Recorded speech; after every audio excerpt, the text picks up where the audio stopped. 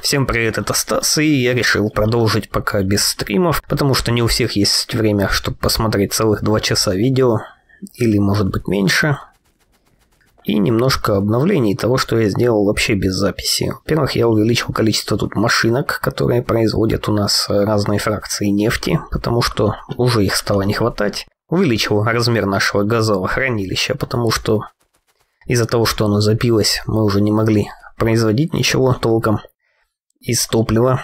Топливо начало заканчиваться, и давайте пойдем посмотрим на одну вещь, которую я вынужден был исправить тоже, которую я сделал на своем прошлом стриме, и сделал ее неправильно.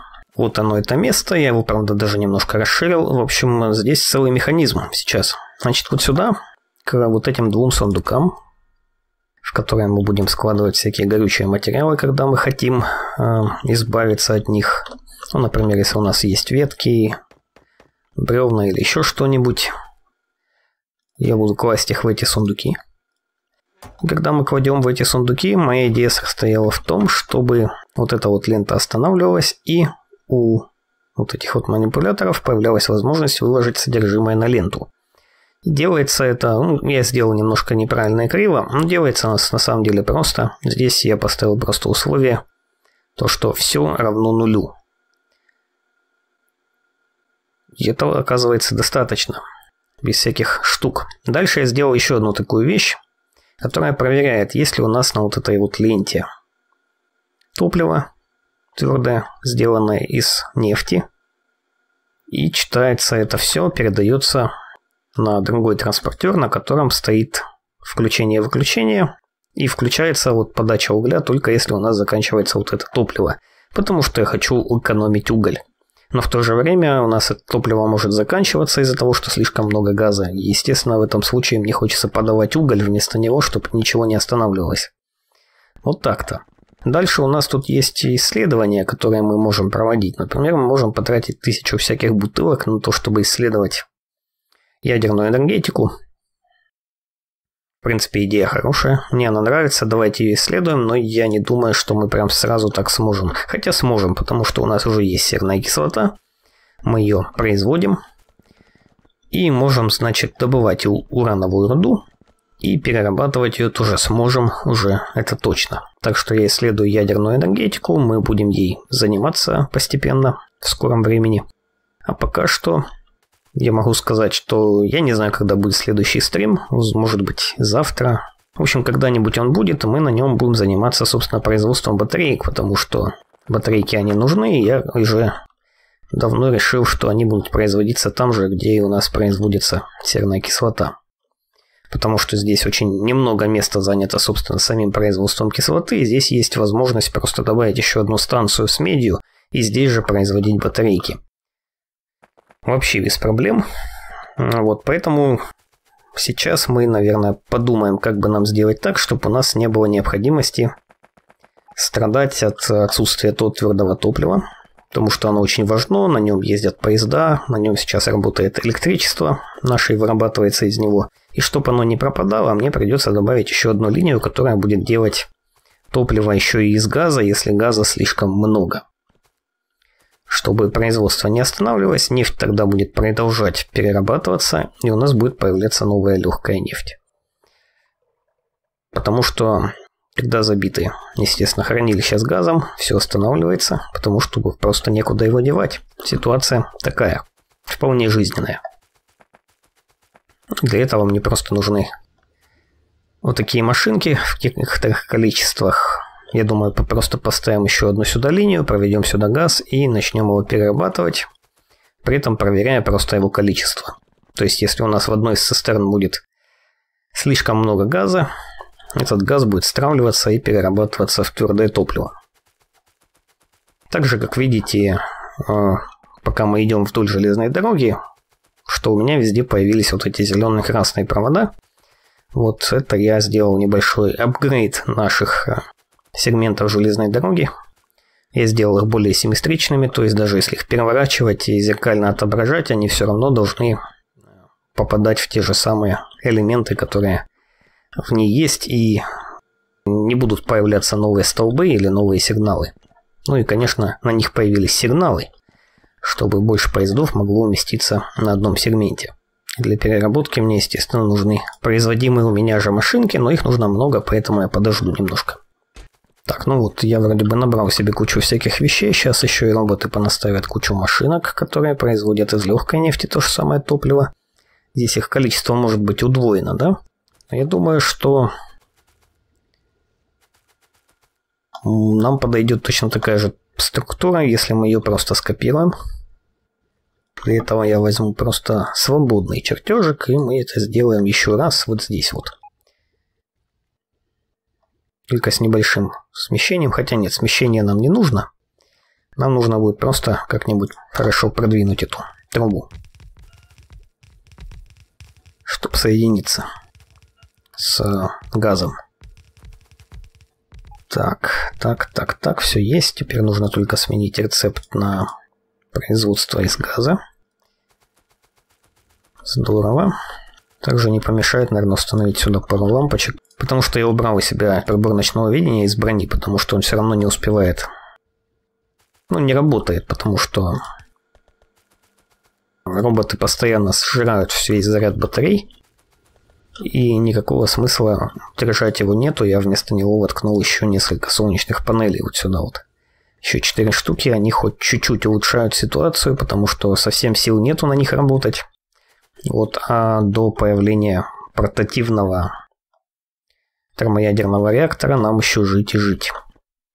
Так, ну и здесь есть целая линия, которая идет с газом вот сюда.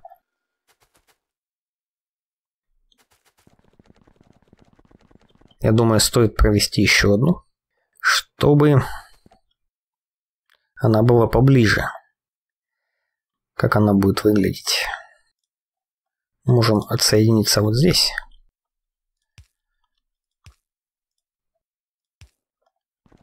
Здесь, наверное, даже сделаем не так, а поставим сразу вот сюда помпу. Поставим здесь столб неподалеку. И от какого-нибудь из самый ближайший к помпе, вот этот вот. В нем, скорее всего, будет меньше всего газа, кстати говоря. Поэтому, наверное, возьмем все-таки вот отсюда красный сигнал. Красный сигнал включается, если у нас мало газа, да. Вот эта помпа, которая перерабатывает легкую нефть, переключается.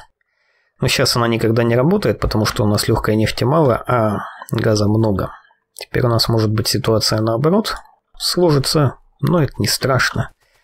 На самом деле.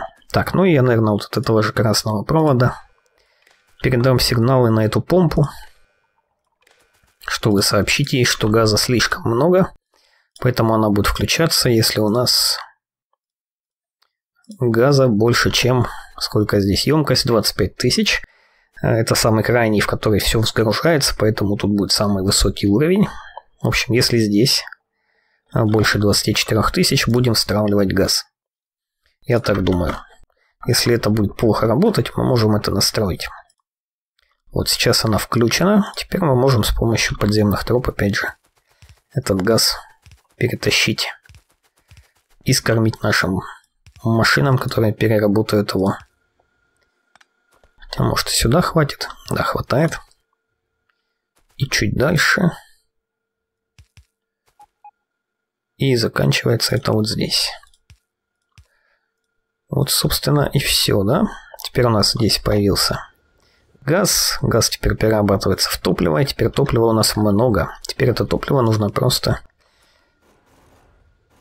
доставить до места, где у нас тут есть ленты вот здесь мы его подмешаем, причем будем использовать уже довольно стандартный для меня метод вот такого вот сплиттера. Впрочем, если его поставить чуть-чуть дальше, можно сделать даже, наверное, чуть-чуть интереснее. вот так и вот так.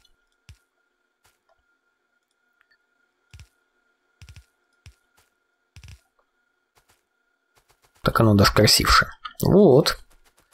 Теперь у нас газ перерабатывается, здесь появляется огромное количество этого самого топлива. Непонятно почему столько много. Ну, хотя газа много, поэтому если столько много его появляется, естественно, Теперь посмотрим, что же у нас тут за ситуация. Ситуация у нас такая. Газ потихонечку стравливается. Даже не потихонечку, а слишком потихонечку, потому что я не вижу никакого убывания на самом деле. Вот, но машины эти не работают, потому что у нас теперь мало нефти. Видимо, всю нефть, которая у нас была, мы уже переработали. Да, и тут куча труб. Да, вот у нас запасы нефти, которых уже нет. Чтобы эти запасы нефти появились, нам нужно теперь уже убедиться, что вот это месторождение мы его осушили, теперь оно дает минимальный прирост количества, и дальше мы начнем потреблять вот такие вот месторождения более удаленные.